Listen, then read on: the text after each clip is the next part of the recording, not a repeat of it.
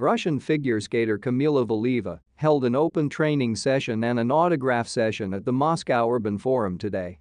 The event was held in the Central Exhibition Hall Manege after which Kamila talked with fans.